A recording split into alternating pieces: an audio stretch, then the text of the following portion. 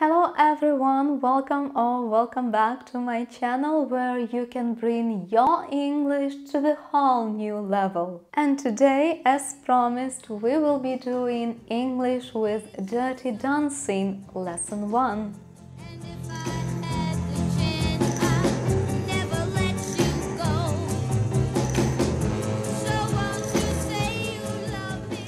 Just to remind you, this is going to be an actual practice, not a video lecture. This is going to be a lesson video because I want you to benefit from these videos. So what you will get is practice, just like you would be having a lesson with me.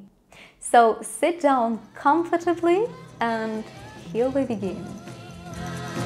Hi, everybody. This is your cousin Brucie. Whoa! Our summer romances are in full bloom, and everybody but everybody's in love. So, cousins, here's a great song from the Four Seasons.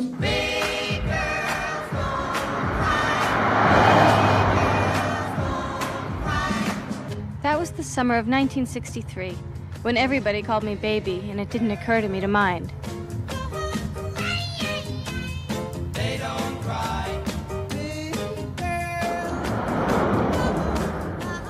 Was before President Kennedy was shot, before the Beatles came, when I couldn't wait to join the Peace Corps, and I thought I'd never find a guy as great as my dad.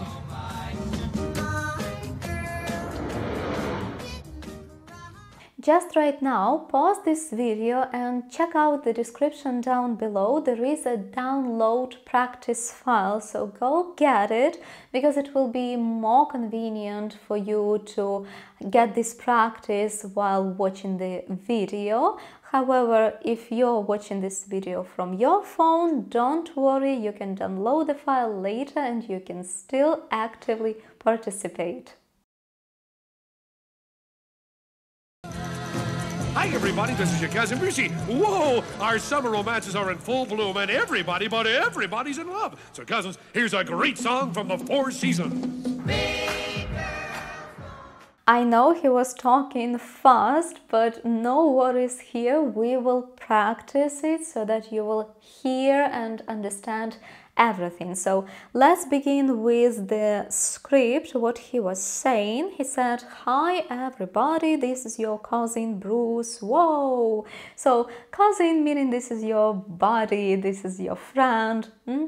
Our summer romances are in full bloom, and everybody, but everybody is alive. In full bloom, if a tree or a plant is in bloom or in full bloom, it is covered with flowers. For example, there was a magnolia in full bloom, but here he says um, metaphorically, so in full bloom, like there are so many romances because it's summer, right? It's summertime, everybody is in love, so in full bloom. So, cousins, here is a great song from the Four Seasons, and this band, Four Seasons, is the exact band who first sang this song I'm begging. Do you know this? I'm begging, begging you. Put your loving hand out, baby. Begging, begging you. Put your loving hand out, baby. And can you imagine it was in 1967 how old this song is? Did you know? Hi, everybody. This is your cousin Brucie. Whoa! Our summer romances are in full bloom, and everybody but everybody's in love. So, cousins, here's a great song from the Four Seasons.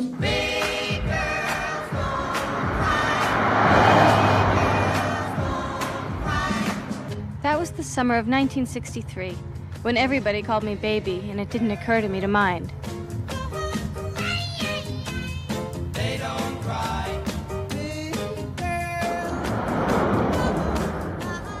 Before President Kennedy was shot, before the Beatles came, when I couldn't wait to join the Peace Corps, and I thought I'd never find a guy as great as my dad.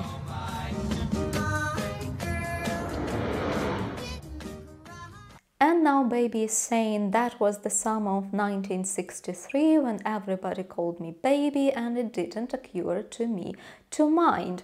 So let's talk about this word mind. So to mind, you know that the first meaning maybe not the first, but just if it is a noun, uh, when you say in my mind, to my mind, it means to my head, meaning to my thoughts, uh, my ideas, my brain, my understanding. This is everything what is my mind, in my mind, or in your mind, to your mind. But if it is the verb, if you do not mind something, you are not annoyed or bothered by it. For example, I don't mind the noise during the day. Do you mind being alone? Meaning, are you okay being alone? Are you bothered by it? Uh, are you annoyed by it? Yeah, so are you okay? Do you mind? Do you mind? This is what it means to mind. I hope you don't mind me coming like this without invitation. Meaning, I hope you're not against it. Yeah, so you don't mind. Mhm. You also use mind in the expressions do you mind, would you mind, as a polite way of asking permission or asking someone to do something. For instance, do you mind if I ask you one more thing? Do you mind if I ask you one more question? Would you mind waiting outside for a moment? Would you mind me opening the window? Very classic school example, yeah? So remember that after mind, if it is the verb, yeah, so do you mind, would you mind me opening? You use gerund, just a reminder. And then this, and it didn't occur to me to mind. So when something occurs to you or doesn't occur to you, so anyway, occur to someone uh, is in the sense of come to mind, yeah, so kind of come to your thoughts. It didn't occur to me to check if the exam date was changed. I, I, I didn't think even to check maybe it was changed or not didn't occur to my mind and there are uh, several synonym phrases so it can be come to mind strike someone dawn on someone come to someone spring to mind cross someone's mind present itself to someone enter someone's head offer itself to someone, suggest itself to someone. So, as I promised you, practice just right now already a small practice, just the first one. You can pause this video, look at the screen again at all of these synonym phrases, and try to remember several of them by making up five, ten sentences on your own. So just use these phrases and say and say, it didn't occur to me to take my umbrella. It didn't strike my mind, or maybe okay, let's say it doesn't strike my mind to check weather forecast daily and so on. Just create your sentences and believe me one at least one of these phrases you will remember. That was the summer of 1963, when everybody called me baby and it didn't occur to me to mind.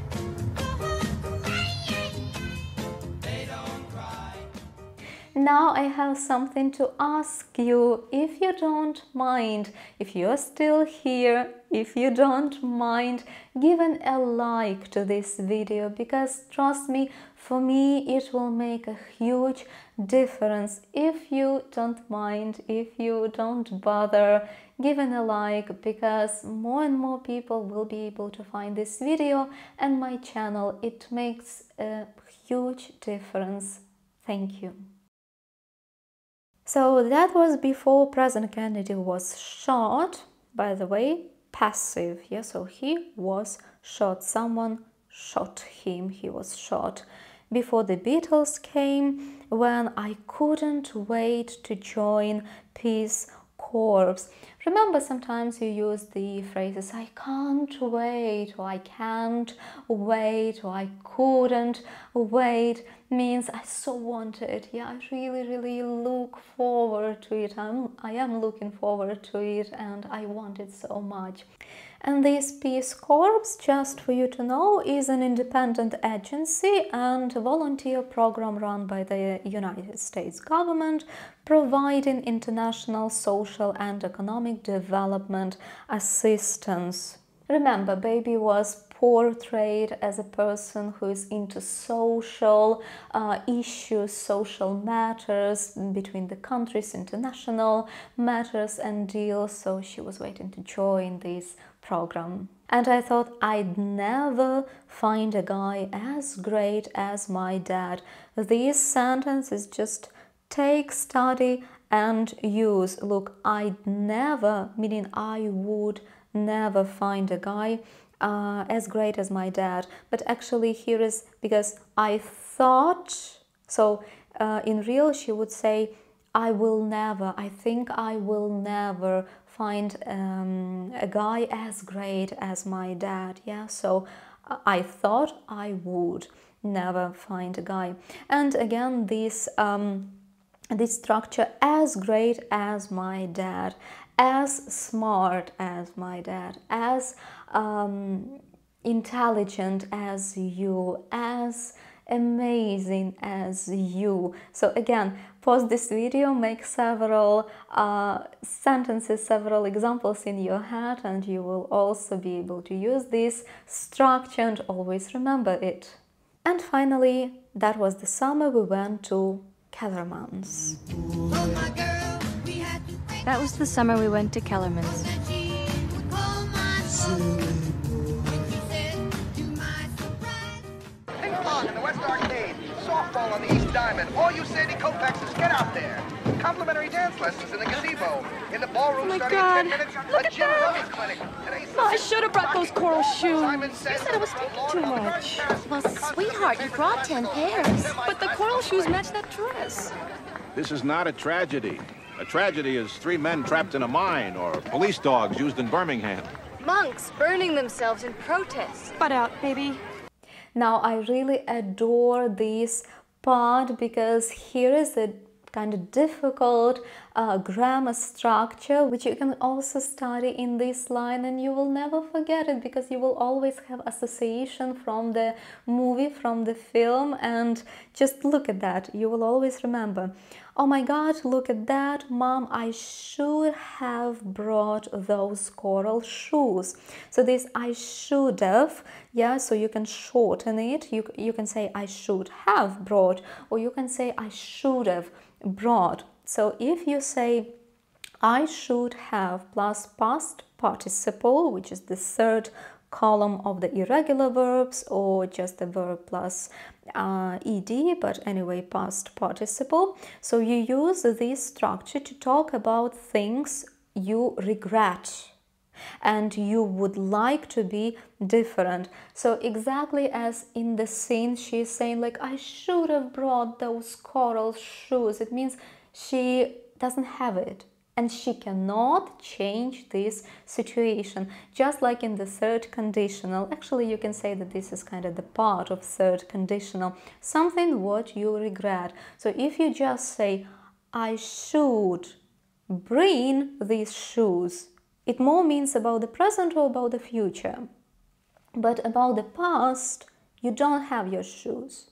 But you should have brought them. Yeah i should have brought and pay attention how she's saying she she's not saying i should have brought.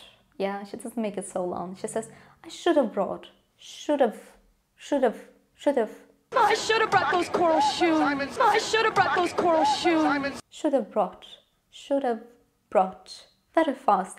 That's why maybe you missed it but now you know what it is. I should have brought for example i got really wet walking home last night i should have taken an umbrella try to practice it i should have taken an umbrella i should have i should have i should have taken an umbrella i should have i should have i should have Hmm? I should have called you sooner. You should have spoken to me before deciding. And if you want to make it negative, you say you shouldn't have done something. So this is how you do it should not have done something. For example, I'm really tired today. I should not have stayed awake so late last night. I shouldn't have stayed awake so late last night. I shouldn't have stayed, or I should not have stayed. Again, on the go, a small practice for you in the comments below. Please do this task. You're gonna thank me. If you don't do it, you will not remember. But if you do it, you will remember this structure and you will be using it successfully. In the comments below, make me five affirmative sentences. So I should have done something, or she should have, he should have, and so on. And five negatives. I should not have done something. Write these sentences in the comments below, and trust me, you will remember this structure forever. So then her mom says to her, My sweetheart, you brought 10 pairs, but the coral shoes matched that dress. Very often, when we talk about clothes, we use the word match, to match. It means that it goes well together. So if something of a particular color or design matches another thing, they have the same color or design. So not necessary color, but kind of they they make good ensemble or they have a pleasing appearance when they are used together. Her nails were painted bright red to match her outfit. You don't have to match your purse exactly to your shoes. And the synonyms are tailor, fit, suit, adapt. Yeah, so remember there was uh, the moment in fashion when the shoes uh, had to match the purse. But right now, if I'm not mistaken, I'm not a fashion expert, but if I'm not mistaken, the rule is the opposite. Your purse shouldn't match your shoes. Let me know in the comments below. Is, is it so? Is, is it a rule? And he says this is not a tragedy. A tragedy is three men trapped in a mine or police dogs used in Birmingham or monks burning themselves in protests. So uh, three men trapped in the mine. So you know this mine is very very deep underground. People go there. This is their job. This is the profession. So they uh, take the coal so that we would have energy electricity and so on. So this is the mine. So if they are trapped there they cannot go up. Sometimes people die there. So this this is the tragedy trapped in the mine. And a monk is a member of a male religious community that is usually separated from the whole world. Okay and her sister tells her to butt out butt out. It's very rude. Don't tell it to anyone. If someone tells you to butt out, they are telling you very rudely to go away or not to interfere with what they are doing. Kind of, it's the same like shut up. Um, I'm not asking your opinion, so. Sweetheart, you brought 10 pairs. But the coral shoes match that dress. This is not a tragedy. A tragedy is three men trapped in a mine or police dogs used in Birmingham. Monks burning themselves in protest. Butt out, baby. Now your task is to pause this video, have a look at your practice file or on the screen and read the lines again at least once. Read them carefully, just read line by line, word by word and it would be better if you can read it aloud if possible. Now I am asking you to put away your script, put away your practice file. Now you're gonna watch this scene again, but now without subtitles, so there will be no subtitles. Don't worry if you cannot catch all of the words, it's okay. Just relax your ears and just enjoy watching this scene. Here we go. Hi, everybody. This is your cousin Brucie. Whoa! Our summer romances are in full bloom, and everybody, but everybody's in love. So, cousins, here's a great song from the Four Seasons.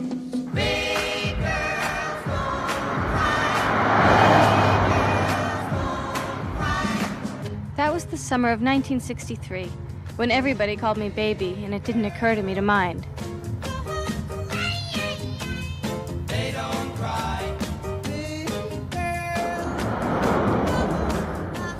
Was before President Kennedy was shot, before the Beatles came, when I couldn't wait to join the Peace Corps, and I thought I'd never find a guy as great as my dad.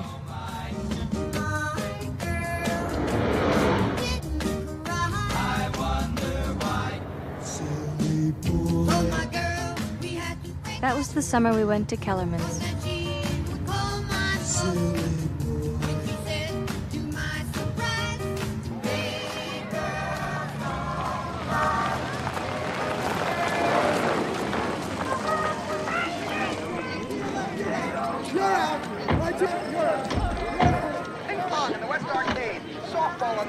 On the East Diamond. All you Sandy Koufaxes, get out there. Complimentary dance lessons in the gazebo. In the ballroom Oh my starting God. in 10 minutes. Look a at Jim that. Rummy clinic. Today's Ma, I should have brought those coral shoes. Simon says said I was taking too much. Well, sweetheart, you brought 10 pairs. But the coral shoes match that dress. This is not a tragedy. A tragedy is three men trapped in a mine or police dogs used in Birmingham. Monks burning themselves in protest. Butt out, baby. Well done, I'm proud of you. If you didn't hear everything, that's totally okay. Don't worry. Now you can play a small trick because this is YouTube. You can use it for its full potential. What you can do is choose that part of the video where you could not quite hear what they are saying, make it slower speed and listen as many times as you need, but don't listen too much. Now you can look at your script, make it slower, listen and read. Look with your eyes, hear with your ears. Just listen to what they say one more time if you need. Then I'll tell you what to do next. So, how was it? Did you manage? So, good job, you. Let's move on. Now, in your practice file, you are getting two tasks, and I'm asking you, I'm highly encouraging you to do these tasks. Only watching the video will not help you. You have to give yourself the benefit. Give yourself this benefit and give yourself extra 5 minutes for this practice. This is the lesson which you get. You get not the lecture but you get the the choice to improve your english to practice english. I encourage you to complete these tasks and let me know in the comments below how it was. So was it difficult? Did you manage from the first time and so on. I, I'm sure you will manage. As you are done with the practice file, I invite you to the second lesson of the Dirty Dancing series, English with Dirty Dancing, and I hope to see you in my next lessons. Don't forget to subscribe and click that rainbow button so that you will not miss my new videos and you will be notified about them. I'm really proud of you today. Great job done. I hope to see you soon again. Until then, take care and see you soon.